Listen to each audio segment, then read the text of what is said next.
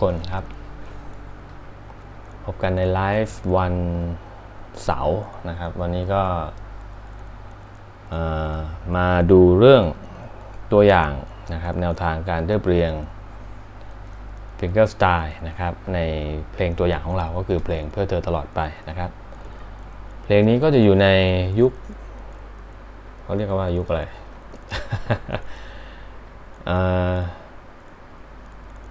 ประมาณยุคไหน ยุค 80 90 เนี่ยนะครับ ยุคที่อินคากำลังดังนะครับ ตอนนั้นผมก็ยังเป็นน่าจะอยู่สักป .6 มั้งนะไม่แน่ใจไม่แน่ใจเพลงนี้ครับ สวัสดีคุณต้นนะครับ สวัสดีครับก็เอาเพลงที่ได้รับความนิยมสำหรับ ช่วงยุคหนึ่งนะครับมา ซึ่งเป็นเพลงที่เล่นด้วยกีตาร์อะคูสติกนะครับเพราะๆนะครับ มาลองอเรียบเรียงดูว่าว่าจะเป็นยังไงบ้างนะครับ ด้วยสามหลักการที่เราจะมาคุยกันในวันนี้นะครับ เดี๋ยวเริ่มเลยแล้วกันนะครับ เพราะว่าเราจะได้พักผ่อนกันนะครับ วันนี้ก็สี่ทุ่มแล้วนะครับ ก็มาเจอกันทุกๆวัน อังคารพฤหัสแล้วก็เสาร์นะครับวันเสาร์นี่ก็จะคนน้อยหน่อยนะครับก็ไม่เป็นไรนะครับ ก็ผมก็จะเรคคอร์ดไว้แล้วก็ดูทีหลังได้นะครับ ใน YouTube หรือว่าใน Facebook ก็ได้นะครับ โอเคมาเริ่มกันเลยครับสำหรับเนื้อหาของเพลงนี้นะครับ เริ่มต้นที่ ก่อนที่จะเล่น finger style เนี่ยนะครับก่อนที่จะนำมาเรียบเรียงเนี่ยเราจะต้องรู้อันดับแรกก็คือ key เพลงนะครับ key เพลงสิ่งที่เราต้องรู้ก็คือ key เพลงตรงนี้นะครับ key เพลงเนี่ยมันมีความสำคัญอย่างไรนะครับก็คือ key เพลงเนี่ยมันจะช่วยให้เรารู้ว่าเพลงนั้นมันมีคอร์ดอะไรบ้างนะครับ เป็นหลักนะครับ แล้วก็ถ้าเรา ศึกษาทฤษฎีที่ลึกลึกลึกมากขึ้นนะครับ เราก็จะรู้ว่ามันใช้คอร์ดผ่านอะไรได้บ้างนะครับ แล้วก็มีคอร์ดชนิดที่มันซับซ้อนขึ้น เช่น คอร์ดติดเทนชันอะไรเงี้ยนะครับ คอร์ดที่ติดสแลชอะไรเงี้ยนะครับ ได้บ้างนะครับ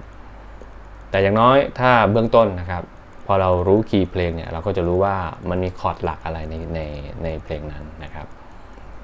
แล้วก็แน่นอนว่าเราจะต้องรู้เกี่ยวกับสเกลหลักของของเพลงนั้นด้วยนะครับ อย่างเพลงนี้มันจะอยู่ในคีย์ D นะครับ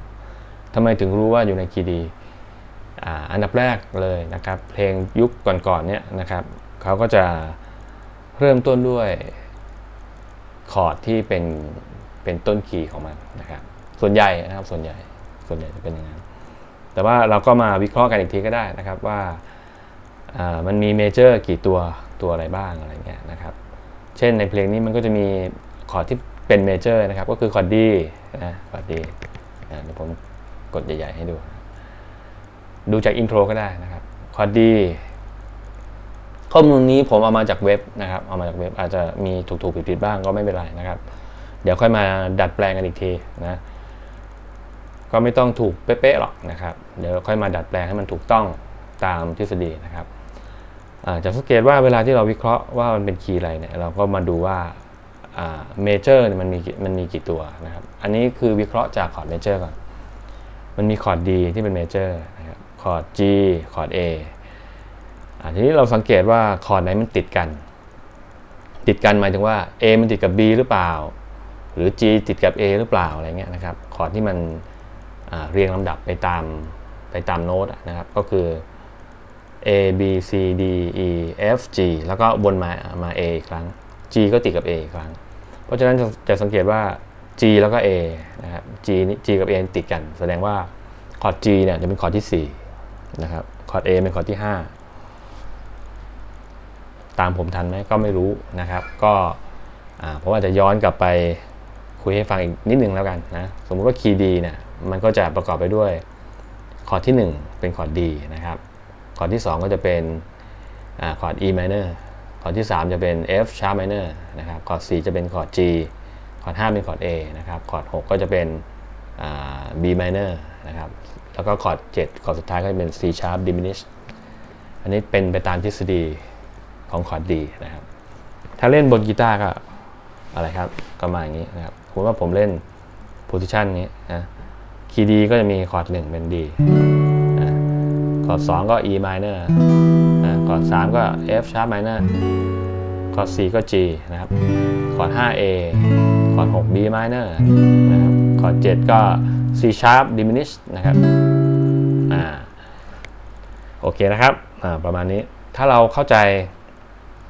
ว่ามันเป็นคีย์อะไรแล้ว เราก็หาทางเดินคอร์ดของเพลงนั้นได้ง่ายๆ ทีนี้เราพอรู้คร่าวๆแล้วนะครับ ว่าเพลงนี้เป็นคีย์ D เพราะฉะนั้นคอร์ดก็จะวนๆอยู่ อย่างที่ผมพูดไปเมื่อกี้ มันก็วนๆอยู่แบบนี้นะครับ คอร์ด D ก็เป็นคอร์ดหนึ่งนะครับ D major 7มันเป็นอคอร์ด family กันนะหมายความว่ามันเป็นคอร์ดที่มาจากรากตัวเดียวกันนะครับ แค่มันแปลงเป็นติด tension ติดอะไรเงี้ยนะครับเข้ามานะครับ แต่ D major 7มันเป็นคอร์ดชนิด7อ่าก็คือ4 note คอร์ดนะครับ อย่างคอร์ด D เนี่ยมันเขาเรียก triad คอร์ดมันมี 3 โน้ต อันนี้เขาเรียก4 note คอร์ดก็คือมี 4 โน้ต ประกอบกันเป็น 4 โน้ต อันนี้ผมพูดลึกแล้วนะครับ เดี๋ยวผมพูดเรื่องอื่นดีกว่านะครับอ่าหลังจากที่เราได้คีย์เพลงนะครับเราก็จะโฟกัสไปที่ 2 เรื่องใหญ่ๆ ก็คือเรื่องของคอร์ด progression ว่าว่ามีอะไรบ้าง เสร็จแล้วเนี่ยเราก็ไปโฟกัสเรื่องของอ่า เรื่องของทำนอง ก็คือเรื่องของสเกลอย่างคอร์ดอย่างคีย์ D เนี่ยมันก็จะเล่นอย่างนี้ใช่ไหมครับโดเรมีฟาซอนลาทีโดโดยที่เริ่มจากตัว D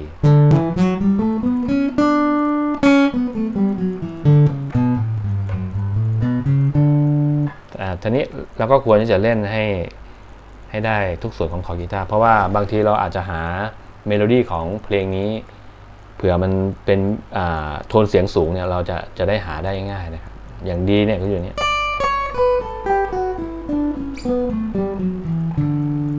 อ่าตัวดีนะอ่าเวลาที่เราหาทำนอง อย่างเช่นผม ยกตัวอย่างท่อนเวิร์สตอนแรกเนี่ยอาจยังไม่เห็นเนี่ยนะครับ เราอาจจะหา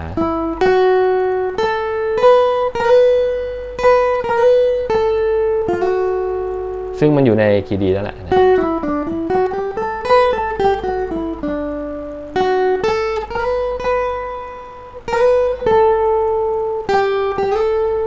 ก็จะอยู่ในคีย์ D นะครับอ่าเสร็จแล้วเราได้ 2 อย่างแล้วนะครับสำหรับคีย์เพลงอ่าข้อหนึ่งเรียบร้อยแล้วนะครับ ข้อหนึ่งเรียบร้อยแล้วอ่ามีคำถามไหมครับ อยากถามอะไรไหมผ่านไปหนึ่งข้อเรียบร้อยนะครับ ได้สองอย่างนี้อ่าทีนี้มาลุย intro กันเลยนะครับ intro กันเลย ไปที่ข้อสองครับ ข้อสอง สิ่งที่เราต้องทำนะครับ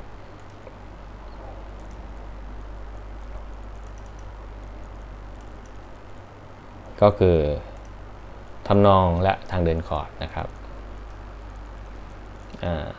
เรามาดูว่าคือเราเราต้องเคลียร์ไปทีละส่วน เวลาที่เราฝึกเรียบเรียง เราต้องเรียบเรียงไปทีละส่วน บางคนอาจจะเรียบเรียงท่อน verse ก่อนนะครับแต่ว่าผมว่าทำตามลำดับจะดีนะครับ ถ้าเรา เริ่มที่จะมีทักษะที่ที่ที่ดีมากขึ้นเนี่ยผมก็แนะนำให้เริ่มที่ intro เลยนะครับบางคนอาจจะคิดว่า intro มันยาก intro มันจะยากกว่าท่อน verse อะไรเงี้ยนะครับก็จะข้ามไปเล่นท่อน verse แล้วแต่นะครับแล้วแต่อลองลอง intro ดูนะครับintro เนี่ยจากที่ฟังนะผมไม่ได้แกะไม่มี tab อะไรทั้งสิ้นนะครับ มันก็จะมีขึ้นมาเป็น มันจะขึ้นคอร์ด D แหละ มันจะมีโน้ตตัวนี้ อาจจะเป็นคอร์ดอะไรสักอย่างเดี๋ยวค่อยว่ากันนะ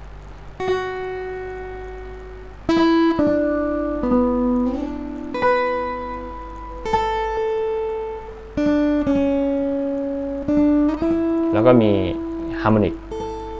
อ่า เดี๋ยวฮาร์โมนิกค่อยว่ากันนะครับ อ่าเริ่มจากดีก่อน ก็อาจจะเกาแบบนี้ ดีเราเคยเล่นอย่างนี้นะขอดได้ง่ายใช่ไหมครับขอดดีมันก็จะมีหลายฟอร์มนะครับ แล้วแต่ว่าเราจะจับยังไง แล้วก็ขึ้นอยู่กับว่าเราจะแกะให้เหมือนกับต้นฉบับมากแค่ไหน คืออความต้องการของเรานะครับเราอาจจะเกามาแบบนี้ก็ได้นะครับ หรือว่าเกาตรงนี้ก็ก็สังเกตว่ามัน เรายอมรับได้ไหมนะครับ เรายอมยอมรับได้ไหมแล้วแต่นะครับถ้าผมเลือกฟอร์มนี้นะผมเลือกฟอร์มนี้คอร์ดต่อไปเขาบอกว่าให้เล่น D major 7นะ อันนี้คือในเว็บนะครับ ในเว็บผมเอามาจากเว็บ ก็อาจจะมีถูกผิดบ้าง ก็ไม่เป็นไรแล้วเราค่อยดัดแปลงนะครับก็เล่น D major 7เข้าไหม ไม่แน่ใจ ถ้าเปลี่ยนเบสนะสมมติว่าเล่น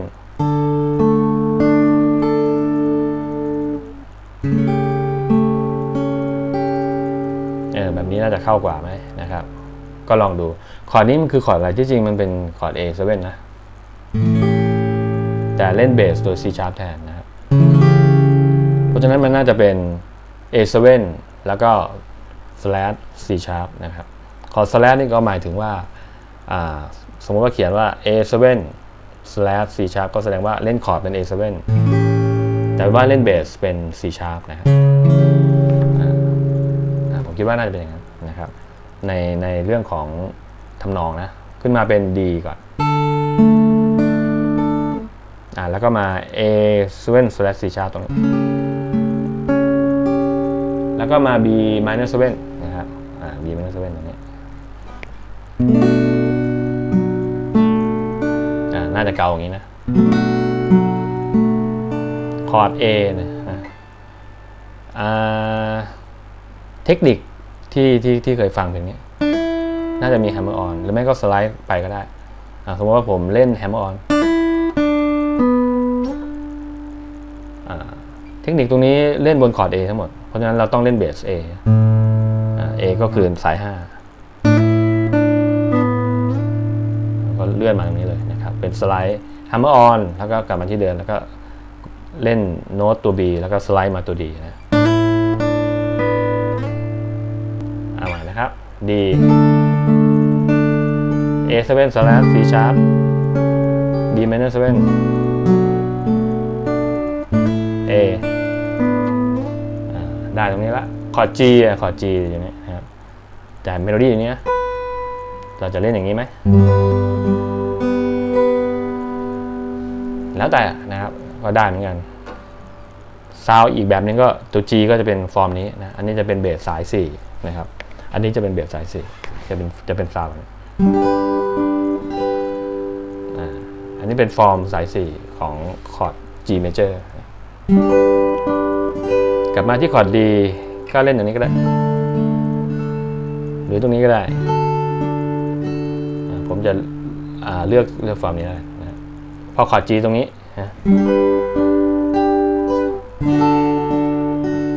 เขาบอกว่า F sharp ไม่เข้า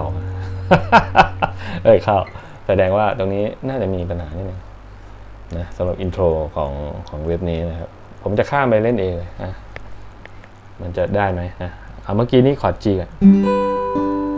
คอร์ด D คอร์ด A เลยนะครับ คอร์ด A แต่แต่ว่าตรงนี้มันจะมีพวก sus four พวกอะไรเงี้ยเสียงมันจะต้องมีมีการเกา เพราะฉะนั้นการเลือกโน้ตเนี่ยตรงเมโลดี้ตรงนี้มันจะต้องเลือกโน้ตแล้วมีสายให้เราเกาด้วย ถ้าเราเลือกตรงนี้มันจะเหลือสายให้เกาแค่สาย 4 สายเดียวนะครับ เพราะฉะนั้นเราจะเลือกตัว C sharp เนี่ยมาเล่นตรงนี้แทน เพื่อให้เหลือโน้ตเกาอยู่ 2 สายข้างบนนี้ จะได้ฟอร์มนี้นะ A sus 4แล้วก็มาตรงนี้ ก็ยังเป็น A อยู่นะครับ สุดท้าย harmonic ก็เป็น artificial harmonic artificial harmonic ก็คือ harmonic ที่เราจะต้องนับจากโน้ตที่เรากดมาเนี่ย 12 ช่อง หรือว่าถ้าใครคล่องเรื่องโน้ตบนคอกีตาร์เนี่ย ก็กดลงไปที่ fret ที่เป็นโน้ตตัวเดียวกัน อย่างอย่างอย่างตัวนี้ผมกำลังจะทำ artificial harmonic ตัว A ผมก็มากดตัว A ตรงนี้นะครับ แต่ว่าก็แค่แตะนะ แค่แตะที่เฟรดนะ แตะแล้วก็ดีข้างหลัง ก็ได้เป็น harmonic แบบ artificial harmonic นะครับ ก็จะได้เป็นตรงนี้ก็จะได้เป็น A A มาจากตรงนี้ A sat 4อ่า A sat 4อ่า ก็จะได้แบบนี้นะครับ เรียบร้อยแล้ว เอาใหม่นะครับ D มา A7 slash C sharp B minor 7อะเกาแบบนี้ A G D คอร์ด A นะ A sus 4ตรงนี้ต้องเปลี่ยนเป็นนิ้วชี้เพราะว่าเราต้องเล่นฟอร์มต่อไปนะ harmonic ก็ทำดังๆหน่อยนะดีดแรงๆได้ได้ตัวข้างหลังนะอ่าเสร็จแล้วนะครับอันนี้คือ intro ของเพื่อเธอตลอดไปนะครับเวลาที่เราวิเคราะห์เนี่ยมันจะต้องอาหาหลาย ๆ ฟอร์มหน่อยเพื่อเพื่อให้มันมีความลงตัวนะครับโอเค คุณประยุทธ์แก้วยอดบอกว่า F sharp minor น่าจะใช่นะนะครับน่าจะใช่ F sharp minor ไม่แน่ใจเหมือนกันนะไม่แน่ใจเหมือนกันแต่ว่าพอพอข้าม F sharp minor ไป A เลยก็เข้าเลยนะ ผมว่านะ ก็ได้อยู่นะ ได้ได้โอเค ไปท่อนเวิร์สเลยนะครับท่อน verse เลย ก่อนจะไปท่อน verse ตอนนี้เราอยู่ที่ข้อ2นะครับเราเราอยู่ที่ข้อ 2 ก็คือทำนองและทางเดินคอร์ดนะครับอ่า ไปที่ข้อสุดท้ายเลยแล้วกันนะครับ วันนี้ก็ยกตัวอย่างในการเรียบเรียงไม่ไม่ได้ทั้งเพลงนะครับ ก็เอา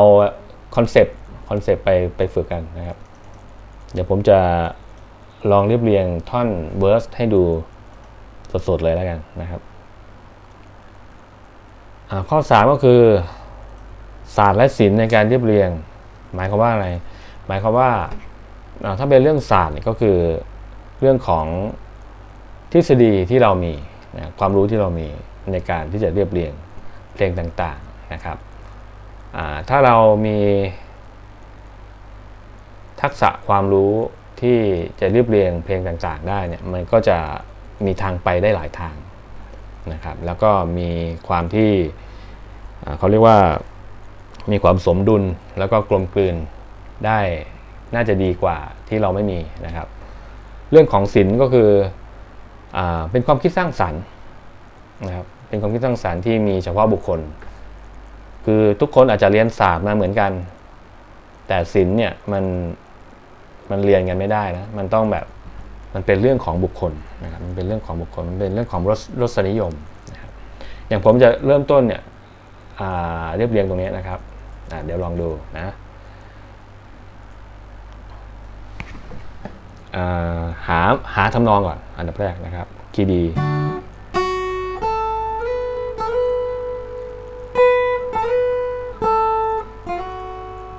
อันนี้คือทำนองในตรงนี้นะครับอาจยังไม่เห็นว่ารักมากมายเนี่ยนะครับ ก็เล่นตรงนี้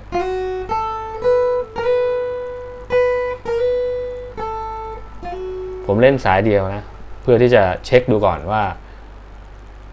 มันเล่นคอร์ดได้ไหมนะครับเมโลดี้มาก่อนคอร์ดอาจยังไม่เราต้องดีด3โน้ตมาก่อน แล้วก็ค่อยเล่น E minor นะอ่าแล้วค่อยลง E minor คอร์ด A แล้วค่อยลงคอร์ด D ทีนี้ลงรายละเอียดนิดนึง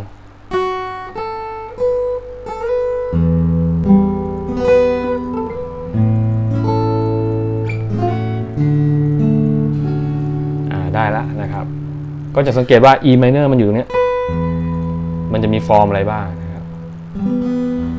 ผมเลือกฟอร์มนี้แล้วแต่นะครับ อาจจะเป็นฟอร์มตรงนี้ก็ได้บางคนนะ ที่เป็นฟอร์มมาตรฐานนะครับอ่าถ้ามามันลงตรงนี้ยากนิดนึงมันต้องมาอย่างนี้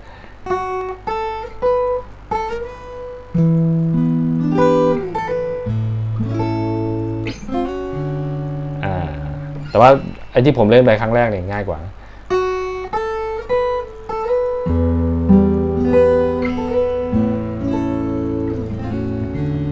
เห็นไหมครับ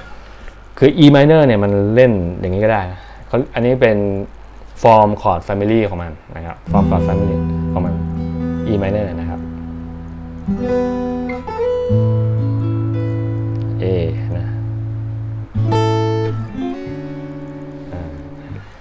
อันนี้ถ้าถ้าเล่นแบบนี้มันจะออกแนวคล้าย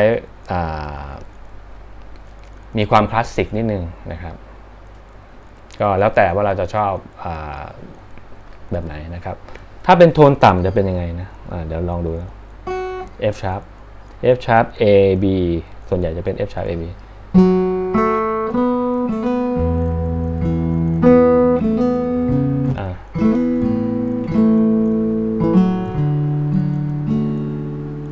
าซาวก็จะเป็นอย่างนี้นะครับ อยู่ที่เราดีไซน์ว่า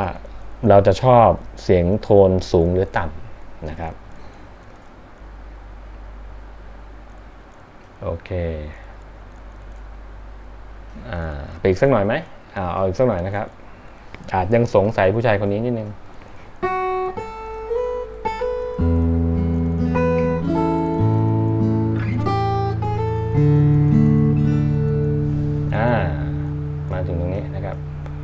มาถึงตรงนี้ อาจยังไม่เห็นเนี่ยมันจะมี F sharp minor F minor E minor นะครับ ตัวนี้จะเป็นคาแรคเตอร์ของเพลงนี้นะ ถ้าใครอยู่ในยุคนั้นเนี่ย ก็จะรู้ว่าตรงนี้มันจะเป็นจุดขายของมันนะครับ อย่างนี้เลยนะครับ sound จะเป็นอย่างนี้อาจยังไม่เห็นมาอย่างนี้เลยนะครับ แล้วค่อยเข้าสายตามาอย่างนี้นะครับ ทีนี้เราจะ หาเมโลดี้ก่อน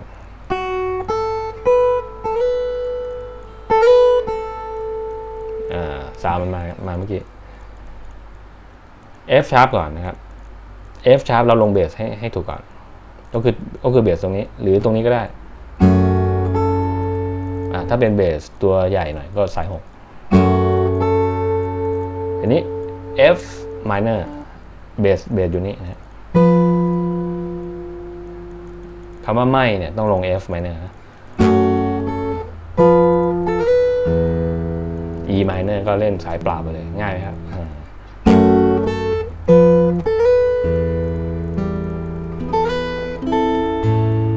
อ่ามาอย่างนี้นะครับ ต่อไป F sharp minor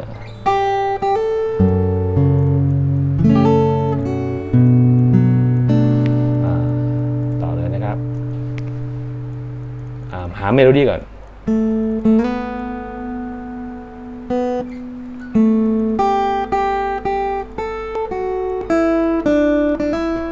อ่าตรงนี้นะครับ C นะครับ ผมเลือก C at 9นะแต่เธอเข้าใจ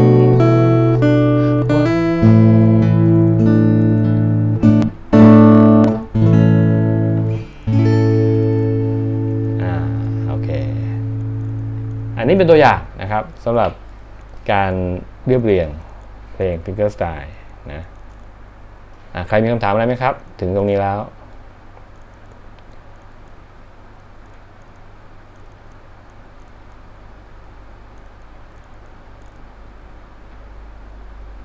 โอ้ใครอยู่ข้างหลังเลยครับ โอ้